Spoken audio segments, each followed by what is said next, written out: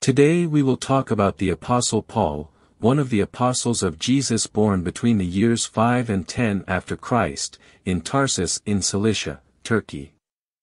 Paul was the son of Hebrew parents and also a descendant of the tribe of Benjamin, however, he acquired Roman nationality by birth, which was just granted to people who were born in that region during those times.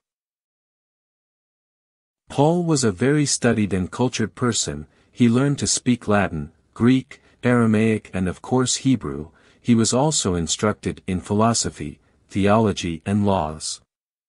This is because he came from a Pharisee Jewish family, raised under the strict teachings of the law. The Pharisees were a religious group that made up one of the ruling classes of Jews in Israel, so they were some of the wealthy people of the day, educated and powerful. He had leadership qualities among people since his high level of education allowed him to speak fluently, as well as having a strong and dominant character. It is these gifts that make him worthy of a position of authority within the Pharisee movement, positions that were not assumed by just anyone due to the commitment they entailed. Another key point that allowed him to be recognized within the Pharisee guild and to have influence was the fact that he was instructed by Rabbi Gamaliel, also known as the Elder. Having the reference of a renowned teacher was something quite remarkable for the time, since it allowed any disciple to have the benefit of a letter of introduction that gave him prestige. The first appearance of him in the Bible was during the execution of Stephen, the first case of lynching of a Christian in history. His participation gave him the confidence of the Pharisee leaders, who commissioned him to the city of Damascus, to take charge of the extermination of the Christian movement.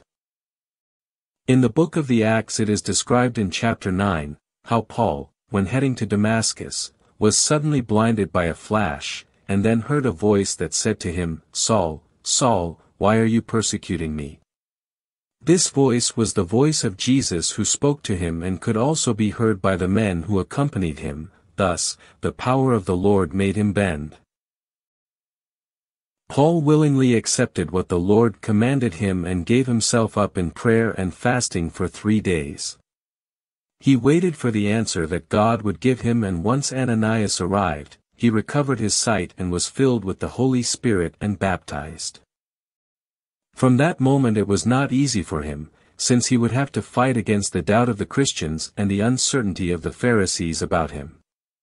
It is here that he was renamed Paul, his Roman name, which means little or humble, since Christians would not trust Saul, the name by which he was known as a persecutor and murderer of Christians.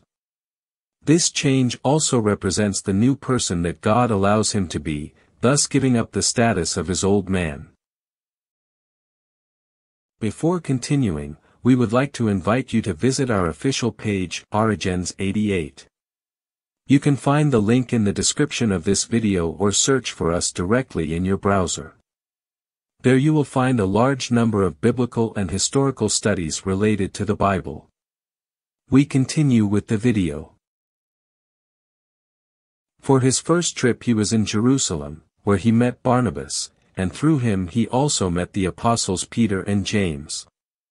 Unfortunately, later he had to flee from the Greek-speaking Jews. He traveled with Barnabas to Antiochia, Turkey and Cyprus, where he landed on the island of Salamis, where he confronted the magician Elymas. This magician wanted to prevent the proconsul from converting to the Christian faith at all costs, so Paul took action and with the authority of the Holy Spirit declared him blind, thus losing Elymas' sight for a while. Then they traveled to Galatia, the Antiochia region, and there they provoke the wrath of the Jews. They then depart to Iconia, where they do healings, and finally depart back to Derbe. God's purpose makes him tour Europe for his second trip, during the years 49 to 52. It is there that he meets his new assistant and traveling companion, Silas. Both travel to Phrygia, Galatia, Troas and Philippi in Macedonia. They are then joined by Luke the physician, with whom they travel to Thessalonica, Athens, and Corinth. In Athens he manages to preach on the Areopagus, which was among the Greeks a high court. Paul surprises the many scholars of the different philosophical currents with the teachings that he brought them. And it is thanks to the Holy Spirit that many people converted to Christianity in that place.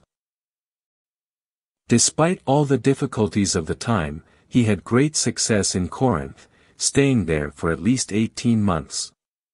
It was in the first winter that he spent in Corinth that he wrote the first missionary letters, letters where he spoke of the great importance of the Holy Spirit in us. His third and last trip takes place between the years 52 and 56. Paul causes a great riot in Ephesus, because the cult of the goddess Artemis was very influential. Being so prominent, the businesses of the merchants in the area were in jeopardy if the cult of the goddess waned, so they were not willing to accept so peacefully that Paul interfere in it. Later he was assaulted and arrested in Jerusalem, and then taken to Caesarea to be tried, there, false witnesses accused him of taking Greeks to the temple. Paul managed to defend himself against his oppressors in such a way that he leaves them surprised, however, he remains imprisoned for two years awaiting his trial. The reason that the proconsuls Felix and Festus postponed their trial every month was to avoid disputes between Christians and Jews. Paul finally had to appeal to the emperor using his rights as a Roman citizen. Ultimately, he is handed over to a centurion who makes the decision to take him to Rome for his trial. During the trip the ship was wrecked, being a miracle that no one died since God had promised it so. From the year 61 to 63, Paul lived in Rome, one part being in prison and the other under surveillance, however, captivity did not prevent him from continuing his work for God. During that period of time, Paul wrote the letters to the Ephesians, to the Colossians, and to Philemon. Finally they release him when they find nothing against him. He visits the cities of Achaia, Illyria and Crete, the city where he writes the letters to Titus and Timothy, as well as the letter to the Hebrews. He is arrested again in the year 66 because of the testimony given by a false brother, and from Rome he writes his last letter addressed to Timothy, in it he expresses his desire to suffer for Christ as his farewell. Paul lived his last year in a horrible prison, without the company of friends or brothers due to isolation. Finally, in the year 67 he is beheaded from behind with a sword, a condition granted to executed Roman citizens. For to me, to live is Christ, and to die is gain. Philippians 1 verse 21